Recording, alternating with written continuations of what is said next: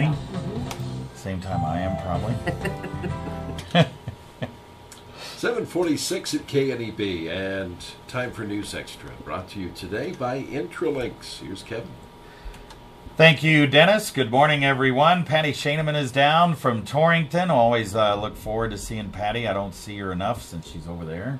But uh, nevertheless, I get a chance to once in a while see her and uh, see her at the bowling alley, at the golf course, and all that kind of stuff. And uh, so you're running the eighth annual chariot races by the Torrington Lions Club. We are. We took it over about eight years ago, and um, it's a fun event, and it's and it's it's just really fun to watch the horses run. They love to run in the cold, so that's a real, the weather's really uh, really good for that this time of year. But um, I like the best part is that raising money for our kids to um, have eye exams and help them with eye surgeries and things like that. That's the best part. Yeah, that's that's the whole idea. So uh, you'll have it on uh, Saturday and Sunday, and then there's a Calcutta on Friday night. Um, so uh, right now, that this is this is uh, becoming something that uh, there may be not quite as many teams now around the state of Wyoming and in the region as there as there used to be. Yeah, it, you know, um, the very first time I saw the race was about 25 or 28 years ago in Torrington, and the Shrine Club used to run it. And teams, it took all day. It took from 11 o'clock in the morning until 6 o'clock at night to run the teams. We used to get about um, 20 to 24 teams, and now it's a very expensive hobby. Um, the horses are very expensive. It the travel is expensive, and um, so it's just kind of a dying art. And um, some of the races, um, it kind of depends on the weather and and how people can get there because all these people have other jobs, and so this is totally a, a, a sport on the weekend for fun. But it is a dying art, and it's it's getting harder and harder to get people to come and do it anymore. Yeah.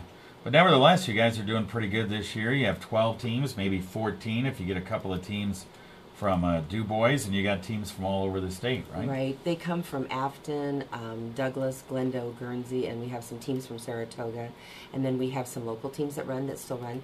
They pretty much just run for us anymore. Um, they do go a little bit to the closer teams like Mhm. Saratoga and all that. Yeah. But um, we, you know, we have, if the Dubois teams come down, we should have 14 teams, which would be seven races. That'd be good. That'd be great. And uh, so let's tell people uh, first of all, the Calcutta on Friday night runs uh, what, starting at seven o'clock. It starts at seven o'clock and probably closer to seven thirty because um, it's a kind of a custom that the teams that come from out of town always have to stop at Lyra's in, in uh, Lingle on the way in before they get to the highway. and so whenever they I get can there- understand. I can understand it's a great place.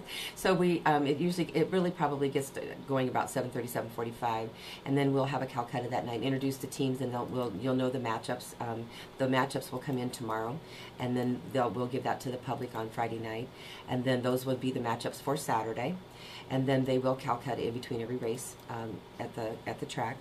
And um, then that on Saturday night after the races, the races will get over about four. We'll meet at the Elks and um, have a, a soup supper dinner for the drivers and for all the public if they want to come and meet them and talk to them. Do another Calcutta, and the races start again on Sunday at 11 o'clock, and they should be over between three and four on Sunday. Yeah, that gives uh, everybody a chance to get home and so forth. It's supposed to be beautiful weather this weekend, maybe a little cooler on Sunday than Saturday, but not anything like last week. Oh, not last weekend. And we and you know it just seems like we have to wear your long johns and you have to have your muffler around your neck because it usually is cold out there. This is in the open air out there. Yeah. And uh, but the good thing is too that the track once you come in the track, if you are of the mind that you don't want to stand out and watch the horse races, there is parking alongside the track, so you can park from where the gate they come out of the gate on either side of the track in certain areas, and you can sit in your car and watch the races. Yeah. All right, it's an easy place to find where the races are, and we got to give kudos to Bailey and Bonnie Schaneman because they're the ones that provide the land. So let's uh, tell folks where they need to go. Yeah, Bailey and Bonnie came up and stepped forward and, and donated their land. Um, I think it was five years ago.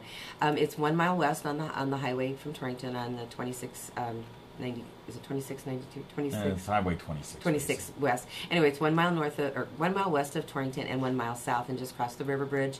And then there's signs out there. There's signs posted all the Yep. way.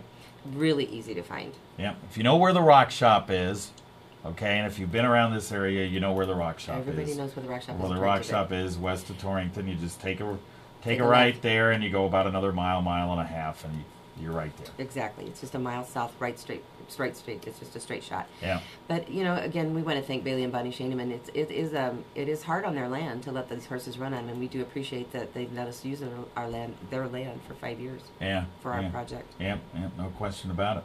So uh, it's a good project, eighth annual, And uh, what you're thinking this might be your your last time, maybe? It might be. Um, Bailey and Bonnie are not going to don- uh, donate their land after this, and it's just a matter of that. Um, this is irrigated land, and Bailey has found out after the last several years that um, the, the horse races has compacted the ground um, pretty severely, and it's difficult to irrigate, and so they are not going to donate after this year, and I hopefully we'll find some land somewhere else. Yeah. But um, and we have run a few other places. We'll see what happens, but um, it is um, it is we are so terribly grateful, and it is a hardship to give up your land like that for Yeah. so many years. Yep, no question about it. But this is, I mean, this is something that most people are not going to see, you know, any other times other than this weekend is chariot races. Exactly.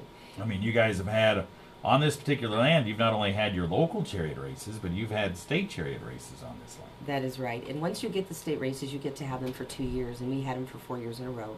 And then it went back to Riverton, and um, the the club that runs this, because these these teams are getting ready to run World, Mhm. and that will be in Utah and Ogden. And so um, um, the chariots that come in for this, um, I guess I kind of lost my train of thought there for a moment, but the chariots that come in for this, it is um, kind of a dying art, but they travel so far Yeah. and um, for to do this. And these horses run on a quarter mile track, and they like to run in the cold. They don't run well in the heat, Yeah. and so it is something that you don't see every day. Yep, you- you don't see it every day, and it's it's just a, a really neat thing uh, to watch. So uh, this Saturday and Sunday, once again, it's out uh, west of Torrington. You just travel on Highway 26 to the Rock Shop, and the Rock Shop's on the right side of the road. There, it's easy to see, about a mile, mile and a half west. You just take a right, and you go about another mile, mile and a half, and and you're there, and uh, it's it's a load of fun.